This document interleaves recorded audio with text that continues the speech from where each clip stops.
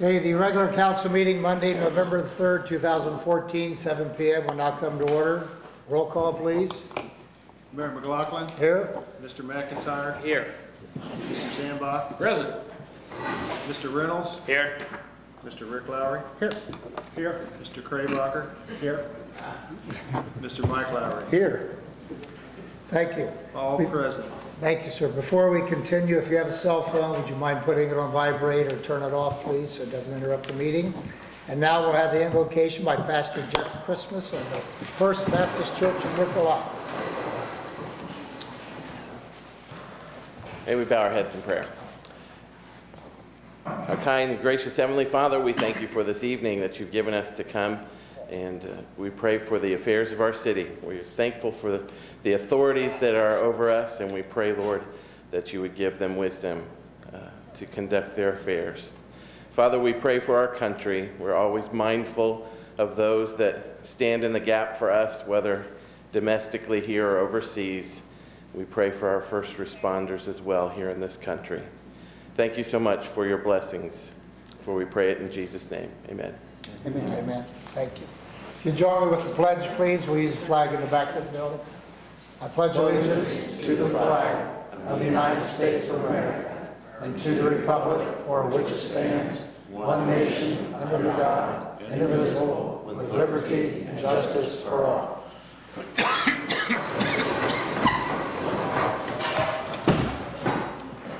Thank you, Pastor. I want to thank everyone for being here this evening. Thank you for joining us. We appreciate it. We'd love to see more faces out there, if you would, please. I need the action on the minutes of the regular meeting, October 20th, 2014. So moved. There's an echo in here. Motion to Mr. Craybacher. I knew that was coming. Did I hear a second? Second. Thank you. That was good. Any questions on the minutes? Anyone? If you call for the vote, please. Mr. Zambach, Yes. Mr. Reynolds, Yes. Mr. Rick Lowry. Yes. Mr. Craybacher. Mr. Mike Lowry, Yes. Mayor McLaughlin, Yes, Mr. McIntyre. Yes. Passed seven to zero. thank you. Communications tonight? None tonight. None tonight. And we'll go into the city manager's report. Thank you very much, Mayor and Council. We'll start under the service discussion. Mr. Kiko, did you have any updates uh, this evening? Uh, just real quick, um, good evening, everyone. This leaf pickup is ongoing. Uh, we're currently in section C, C, which is the Northwoods area. Um, this week, we're hopefully we will get it completed here in the next day or so. We've been trying to work ahead in another section at times, uh, just to try and stay ahead. And that is all I have. Any questions on that? Yes, Mr. McIntyre. Uh, yeah, I had, I had two questions. One on, the- on the leaf pickup, if, um, because I don't have the chart in front of me, if someone's neighborhood was already done, there's a second round where they'll come through, or they also have the option of putting it behind the old school. That is correct? Yes. Both those, thank you. And then that, that's available if you go to the, the city's website, they can look up and see what neighborhood you're, you're in and when their leaf pickup is going to happen. Right. Um, And then the second one, we had, we had spoken about that. Um, I had some residents ask about spraying, the spraying of weeds and whatnot that come up around the curbs and sidewalks and the hydrants. Um, I wonder if you could touch on that a little bit, how, how we do that. Um, we drove, uh, two guys drove around on the Gator with a, uh, uh, like a towable type sprayer. We sprayed for about a week and got what we could in about a week's time, Okay. uh, which was the majority of, uh, the, the main drags, um, in areas like that that, uh, that, that were the worst. Some of the worst I'm pretty sure we didn't get the whole city done. And then what you use is, it's not like Raid, this is an environmentally safe product, right? Uh, they're, they're, they're a standard pesticide that you would get at any of your, um, local, um, gardening places, tractor supply, places like that. Okay, thank you. We would welcome anyone to help on that, would we not? As far as like homeowners, if they'd like to clean in front of their properties and so forth? Yeah, homeowners are, they, they can do in front of their own properties, but they cannot do anything outside of their properties due to, um, we have a pesticide license as a government agency. Thank you. Yes, Mr. Craybacher. Well, to touch on that, and I have another question after that. You mean, I can't do in front of my house where there, where, where it's like beyond the curb? I- I- Actually, once you enter into the public right of way, there is some guidance on issuances of like pesticides. Like I said, we have trained um, individual that is licensed to spray on our behalf, and we have to have proper signage. As you can go to like Smith Park, you'll see we have signage out that we can spray at any time to let people know that we have sprayed. I don't know what the current rules would be for a private homeowner to spray outside of their private property. Um, Something we probably look at, but, I mean, we, we, we are covered to spray anywhere in the right of way. That's interesting. Okay, there's another question, and and it doesn't pertain to that at all. Can I ask another question? Go ahead, Yeah. please. The- um, I had, a- I had a a citizen ask me about water shut-offs, and they were talking about, you know, that people are still living in places where they do- do not have water. And um, is that a health issue, or is that, you know, i- is there a way that somebody can report that, or what can be done? I- I- That's, I guess is my question. For, Do- do- yeah, for whatever reason, if we need to shut the water service off, they have, uh, they can be off for three days, and once three days is up, we contact Clark County Combined Health District, notify them that the water, they've been without water for X amount of days, and then it's on them for enforcement, I believe. I know we don't enforce anything as far as health for anything after three days, but the health department does. Okay, so it is a health issue, because then they automatic, okay, that's what, thank you. Anyone else? Mr. Kiko? Thank you, sir. Appreciate it. Okay, then under informational in your packets was a copy of a thank you note, uh letter that I sent to the mayor. Um, I himself, he did repaint, mulch, and plant the uh, Welcome to New Carlisle sign, and we greatly appreciate it. They're on 235, uh, close to the Howard Shopping Center. Um, A lot of hard work involved, and uh, looks a whole lot better. We appreciate your efforts Thank on the behalf of the city. Um, Lastly, in your packet um, is a memo, we do this every year, looking ahead to 2015. Any of the uh, legal holidays, federal holidays, where we normally would have a council meeting. In the past, the uh, council has voted to move that meeting to the next day, the Tuesday, and I've listed the three occasions next year. It would be Martin Luther King Day, President's Day, and Labor Day. Those are the usual suspects. Um, So it would take a motion of council if you would like to move that to Tuesday. Yes, Mr. Zambach is ready to do so. I move that we uh, change the uh, meeting days to follow Mrs. Jones' memorandum, Martin Luther King Day, President's Day, and Labor Day. Move our meeting the Tuesday following. Second. Thank you.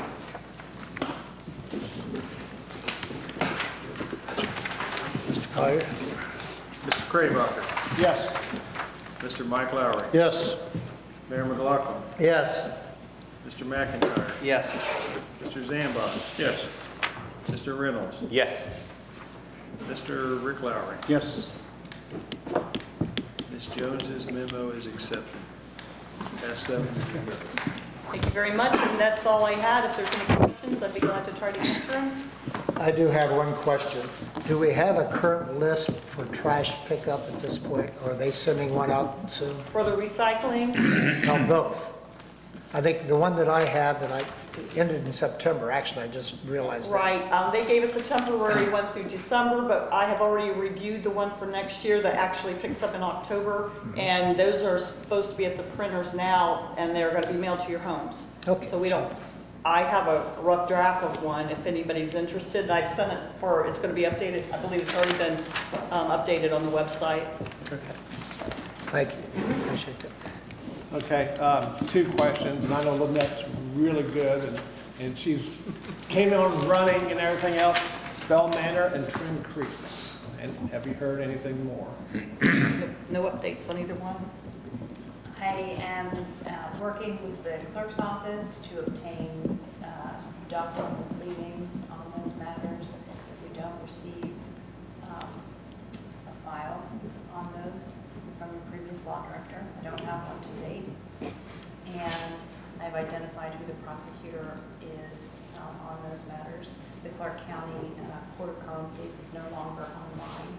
So uh, we're making arrangements to have someone from my office collect those pleadings, and I'm arranging for a meeting with the prosecutor uh, handling matters uh, from the county to bring myself up to speed and determine what else needs to be done. Okay. She's a good attorney. There's no pending deadlines that I have been, that I have been made aware of to date, um, which is the first thing that I did to make sure that we preserved any rights of the city. Thank you. Anyone else? Any questions for the city manager? Okay, thank you. Okay.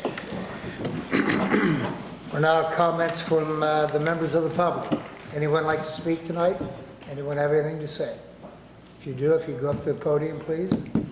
Again, thank you all for being here. We appreciate it. He, I I bet you he's got a lot to say. He does, but I bet his dad would rather he didn't. Maybe another time. All right, we will go on. Uh, Committee reports, any this evening? None this evening. All right, resolutions, I see we have none. Ordinances, we do have one. If you would read that, Mr. Collier, please. Ordinance fourteen 50 E, introduction, public hearing, and action tonight.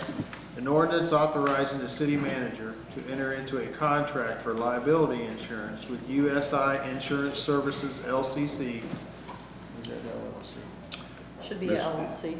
LLC? Mm-hmm. LLC, representing the public entity pools of Ohio for the administration of said policy and declaring an emergency.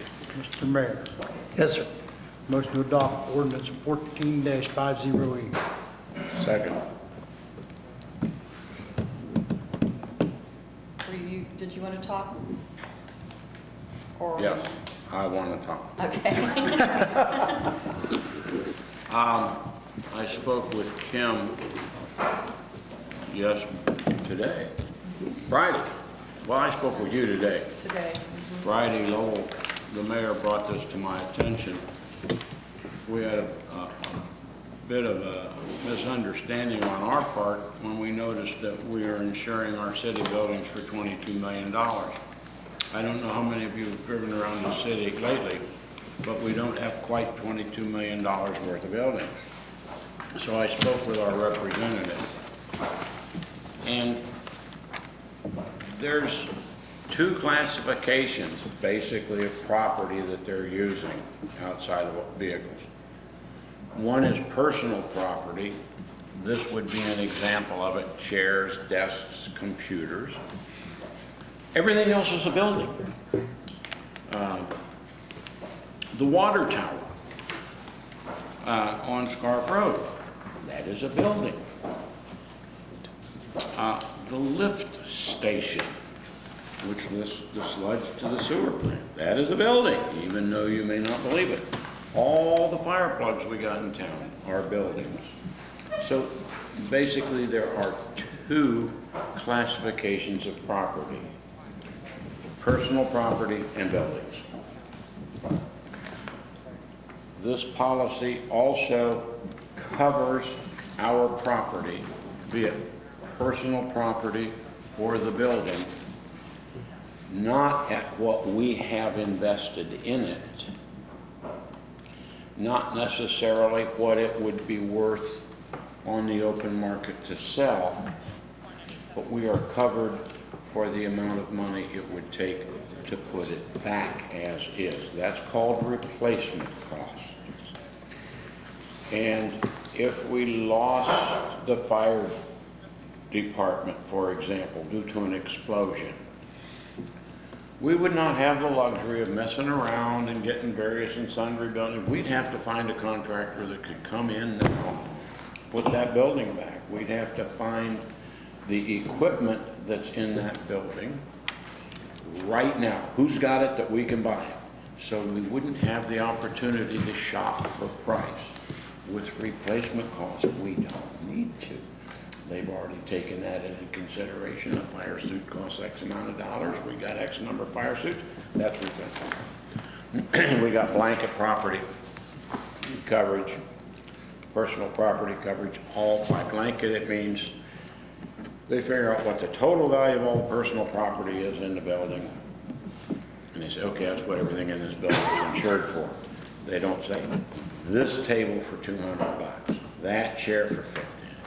You got six hundred thousand dollars worth of stuff in that building, and here all of it goes, we're gonna replace it up to a maximum of six hundred thousand dollars. And again, the building, they have a special formula, uh, it's Marshall and Swift, it's a computer program. We used it when we had our business. It simply includes all the pertinent factors, year of construction, type of construction, uh, location, how close you are to a fire hydrant, size of the building, type of roof, et cetera, et cetera, et cetera. You put all these factors in, the computer program says, okay, to build another one of those is gonna cost you six hundred thousand dollars. And that's fine. Generally speaking, our experience was when we apply, when we did evaluation, they tended to be generous. You might say, well, yeah, that's just the insurance company's way of ripping you off for another buck or two bucks. No, it's not. It's a way that there's gonna be the money there to replace what you lost. And trust me, if, if your building is really worth only five hundred thousand to replace it, and you've got it insured for five hundred and twenty-five thousand dollars, you're paying pennies, just pennies difference once you've established the base. So we are not getting ripped off, in my opinion. There were some other issues I had which are really not germane at this point. Uh, I do know that we got this huge statement of values here, which we didn't have originally, we council last week, which is part of the reason there were some questions. Uh, This is done through the Public Entities Pool of Ohio. This is not an insurance company as is State Farm, Allstate, something of that nature. This is really like a, well, it's a pool. We, we're it. We're not completely, um, it functions as an insurance company. There are not financial issues to be involved here. The big difference is there's a lot fewer fingers in that pot taking a profit each step along the way. When I sold, when we had our agency, anytime we saw somebody in the public entities pool, we didn't, we couldn't even get a company to quote it because they knew they couldn't remotely come up with a price like that. Based upon that past experience, I got no problems with that. I know the inventory, Kim and our agent worked for many, many hours, making sure that it's an adequate inventory and we didn't overlook something real obvious. That's another reason you get blanket coverage. You will overlook something. It's, it's impossible not to, especially with as much as we got. So we're in good shape there. The, uh, one of the things that our agent told me when I was on the phone with her, this is due, we, we got it as an emergency ordinance. We have to re, the policy renews November first, which was two days ago. So we gotta do it now. It's not optional financially, and please, don't worry about this little detail. The policy, in my opinion, is quite, quite good. When the actual physical policy gets delivered to us at the end of November or early in December, I'm going to be present at that meeting. Uh, It was offered by the lady that's our agent. She said, would you like to be included? I said, I'd love to. So I'll have an opportunity to go into the policy in, in greater detail. I really don't have any problems with the numbers they came up with. They've spent a lot of time getting them. I have absolutely no problem with the carrier, and I have no problem with the premium. So as far as we're concerned, that's the three main things. Valuation of property, carrier, and premium. I'm happy with all that.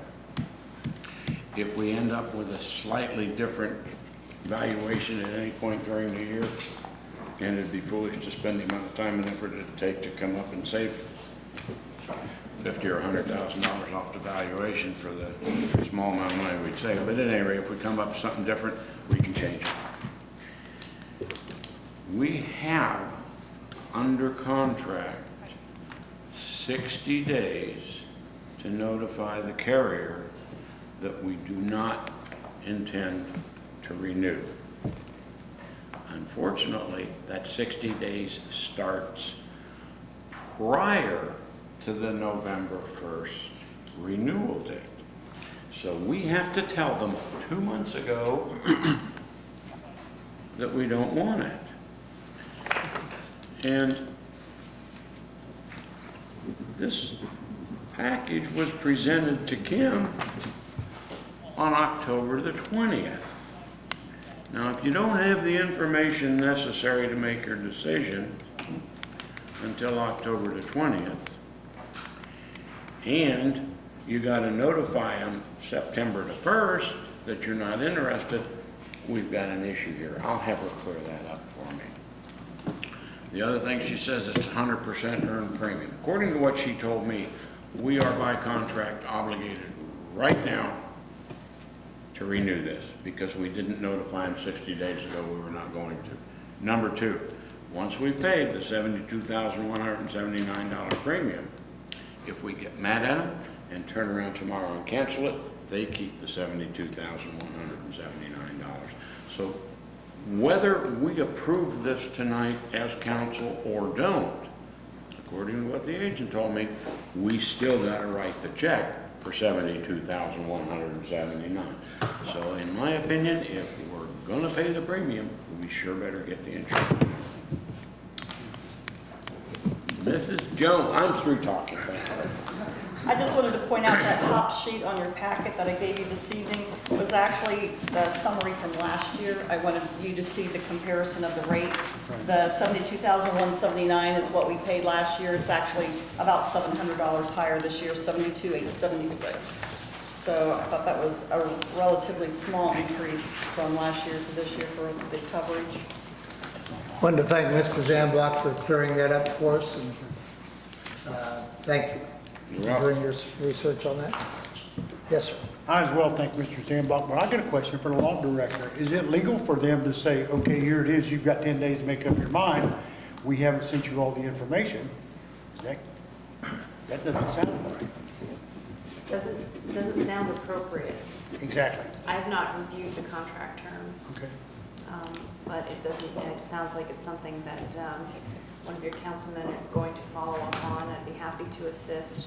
Um, Under 2744, the revised code, um, in addition to uh, get the bang for your buck, if you have, if you're in a position where you're writing the check, um, of course, we all know that the city is uh, responsible to insure, indemnify, and defend any of its employees for anything that they would do in the course and scope should liability, their liability at any point in time be questioned by anyone.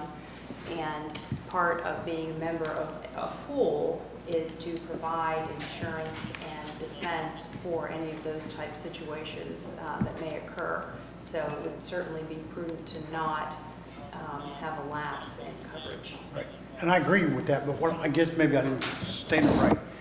If they give you 60 days, but they don't present the information for you until 10 days before, I mean, how can they make you stick with the 60, you know, Yeah. with that? If I- you haven't had the proper amount of time to look at the information, is my thing, and maybe that's I something we need to look into. I have a response to that. Okay.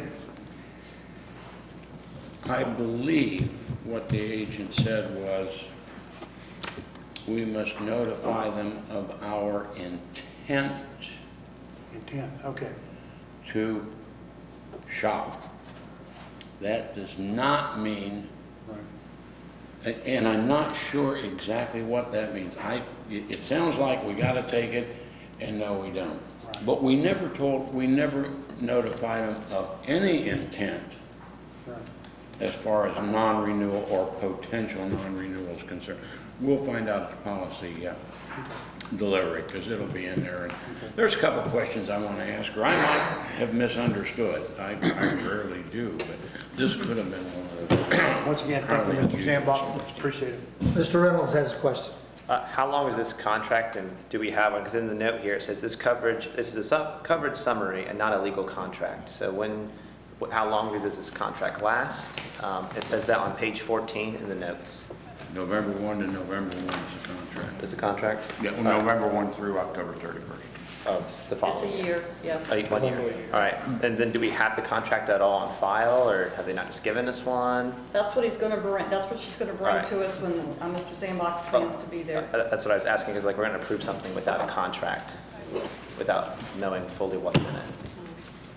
This is, this is standard in the industry. It's not unlike calling to secure insurance for your automobile Yeah. coverage. Do you want UM, do you want UIM, uh, do you want MedPay? And then the actual um, document is sent to you at some point after outlining what all those coverages are. I looked through the coverage summary, and it is um, standard um, and provides some additional coverages that I typically don't see. So there's nothing um, to- of concern to me with regard to the coverage package that is being proposed by PEP, and PEP is a very reputable company, So so. it's standard practice then, like for municipalities across the state of Ohio to get these packets and then not the contract and they approve? Yes, the, the contract is always sent afterwards. All right, thank you. Mr. McIntyre. Um, something I wanted to bring up, this was a, an issue I had when we were looking at the price of this, was the cost of buildings, because it was, the bulk of, of, um, what the, the high rate was, was due to the buildings, but I'd like to point out, their definition of building is different from the one that you and I would use. What we're in right now is a building, where the city has our offices as a building. They're also including fire hydrants, the street lights, um, See, we have the, the the bike racks and benches, a flagpole. Those fall under their classification. So um, when you're going through this, keep that in mind, that they, they run by a different set of definitions than the rest of the free world does. And that's how they get their numbers there. But um, is this, this is available for people to look at if this were, if this were passed today? We'd, we'd have this at the city building, or is that not? No, it's, yeah, it's available, it's on the bulletin board. Okay. For all the public notice. So I encourage everyone to go and take a look at this. Um, and if you have any questions, um, I'm sure Mr. Zambach would love to, he, he knows more about it um, think I do, has a better understanding of the situation, as he dealt with insurance as a career, and also our mayor as well. And so we'd love to uh, answer any questions you may have about this.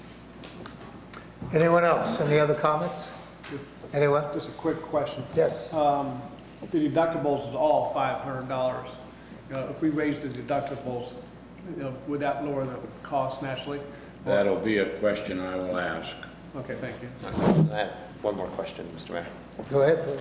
So, like, if we do increase our deductible, would we be able to renegotiate the contract for this coming, for this year? Oh, It- It's a matter of form. Uh, How much would it cost if we raised the deductible to a thousand dollars? Well, that'd take your premium down to seventy thousand, for example. I mean, I have no idea what the numbers are, but that might be what she'd say. Then we have to make a decision, is it worth us, to us, to take our deductible on each and every piece down to five hundred each and save two grand? Or are we gonna say, well, geez, let's save two grand. If we lose a building or two, we've got, maybe she'll say, hey, we're gonna save you a hundred bucks a year. Fine, five hundred dollar deductible is wonderful. But they will adjust it immediately upon our making that decision.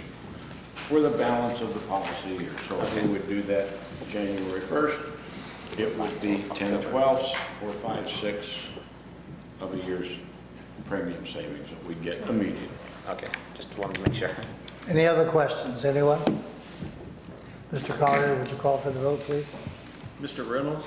Yes, because we have to, uh, we're going to pay either way we go, so. Mr. Rick Lowry? Yes. Mr. Craybacher? Yes. Mr. Mike Lowry? Mayor McLaughlin? Yes. Mr. McIntyre? Yes. Mr. Zambach? Yes. Passed seven to zero. Thank you.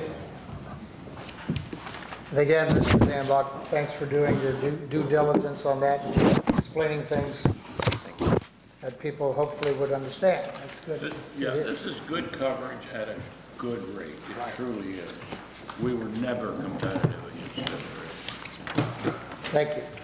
All right, we're ready for other business now. Other business, anyone like to say anything? I just wanted to thank you again for the job you did on the sign. It looks wonderful. Thank you. But if you Appreciate it. could, maybe stop by and wash that smell out of the back of my truck from hauling manure for you. There was manure in your truck? Yeah. I didn't know that. But no, thank you. Very good job. You're welcome. You're welcome. Anyone else, anything? Okay, uh, would you like to go ahead and read Sure. A through D, I guess it would be, please, if you would. City offices will be closed uh, Tuesday, November the 11th for Veterans Day. It will also be closed on Thursday, November 27th, and Friday, November 28th for Thanksgiving. There'll be a joint government meeting Monday, January 26, 2015, at 6:30 at the Beth- Bethel Township Firehouse. The New Carlisle Crime Watch meeting will be uh, Wednesday, November 12th at 6:30 PM here at Smith Park Shelter House. And uh, Election Day is tomorrow, Tuesday, November the 4th. Uh, And remember, the city income tax issue is on the ballot. That's all I have, Mayor. Thank you, appreciate that. Council, anyone like to say anything about voting? Yes. Yes, sir, go ahead. Um, You've heard all the why fors and why nots and who you should and who you shouldn't. Uh, So I will not get into that, but I would encourage everyone to vote tomorrow. It is your right as a United States citizen, and I encourage you to go vote. Thank you. Anyone else? Yes. Yes. Briefly, I encourage everyone to vote for the city income tax. By straight, safe streets, that doesn't mean bigger curbs, that means we can still afford to keep cops out on. Anyone else? Any other? Staff, anyone like to say anything? One more time out in the audience, anyone like to say anything this evening? Executive session, there's none tonight. So I would entertain, Mr. Mayor, yes, I move we adjourn. we are. We are.